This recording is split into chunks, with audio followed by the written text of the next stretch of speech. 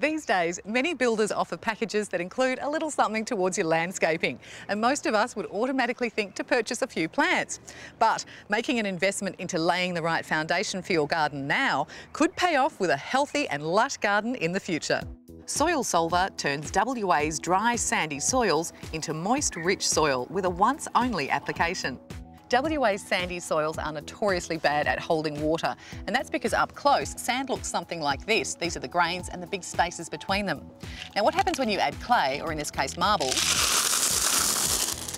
you can see that the particles fill those gaps, slowing down the speed of the water through the soil. Soil Solver contains calcium-enriched kaolin clay and mineral-rich silts to fill those gaps in the sand. It also sticks to the grains and makes them clingy too, so that nutrients and moisture are held in the soil for longer, where your plants can access them.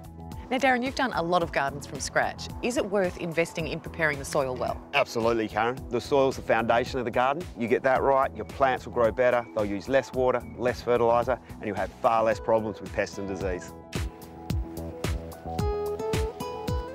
Soil Solver contains all the trace elements that your plants need, but it's not a soil conditioner or a fertiliser.